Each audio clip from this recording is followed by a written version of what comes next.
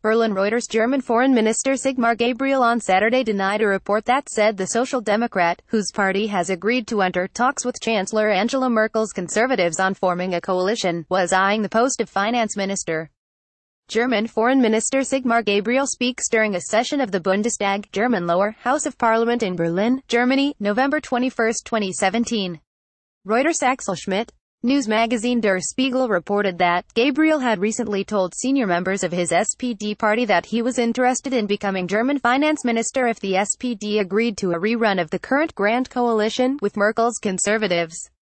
What Spiegel is writing is sheer nonsense, Gabriel told Deutschlandfunk Radio. I'm in a caretaker government and no one knows what the next government will look like. More than two months after a national election, Germany has not managed to form a new government, so the conservative coalition from the last legislative period is still in power. Merkel, who lost many supporters to the far-right in September's election, is banking on the SPD to extend her 12-year tenure after attempts to cobble together an awkward three-way alliance with the liberal Free Democrats and environmentalist Greens crumbled.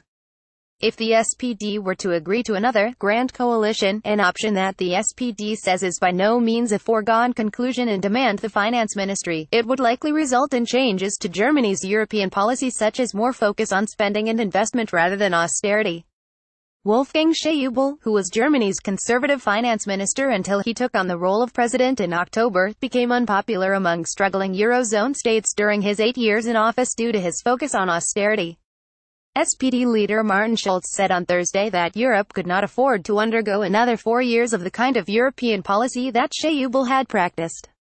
Reporting by Michelle Martin editing by Elaine Hardcastle or Standards The Thomson Reuters Trust Principles